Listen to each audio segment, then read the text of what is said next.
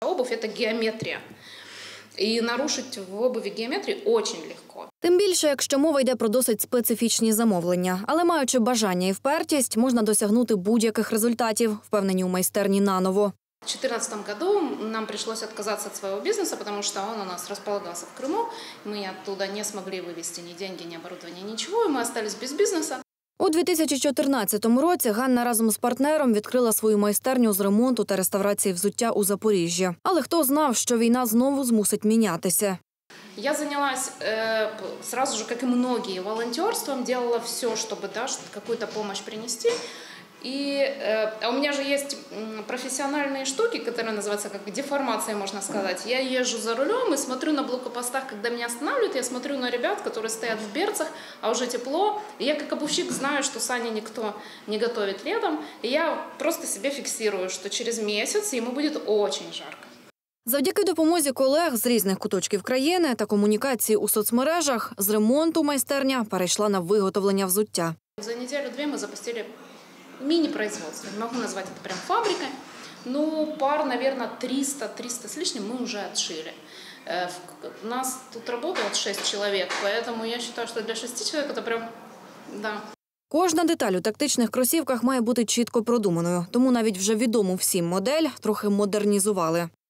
Мы уже думали, какие применить материалы. И то, что я скажу, ну, то, что вот, например, наша именно находка и понимание, что так должно быть, это вот, вот укрепленный носок, да, и м, ш- шнуровка, и язычок. Ремень на заднике. Таким невеликим колективом і працює майстерня. Кожен знає свій процес і сумлінно його виконує. Эта операция называется затяжка. Вот вы видите там стельку. Да, стелечку, вот он подложил стельку, затянет ее сейчас. И поставит, она у нас сутки постоит.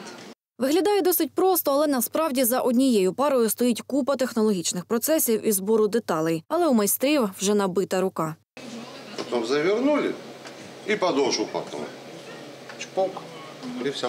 Не забувають і про маркування своєрідний привіт захисникам, яким довгий час служитимуть кросівки.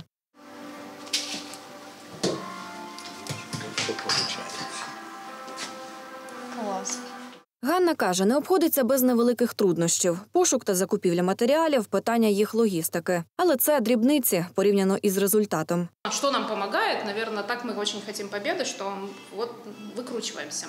Тим більше у Ганни є партнер Геннадій Верба, з яким вони навіть на відстані підтримують один одного. Год назад он занялся своим делом, а сейчас он служит тоже в, в ЗСУ.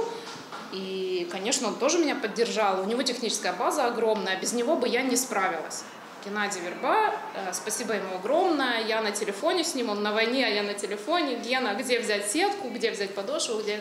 И все это я от него получила. Отож, наразі виробництво налагоджене. Вартість кросівок – 1700 гривень. Хтось із військових купує їх самотужки, а для когось закуповують волонтери та просто люди, які хочуть подарувати пару якісного взуття захиснику. Я читаю эти неимоверно крутые слова жен своим мужьям, признания в любви, которые далеко, э, абсолютно незнакомых людей, которые благодарят за то, что вы защищаете. Я хочу подарить вам кроссовки. И я каждый день это вычитываю. Я вечером прихожу, там приползаю домой уставшая в 10 часов, но наполненная, хоть и во время войны, но я наполнена этими эмоциями.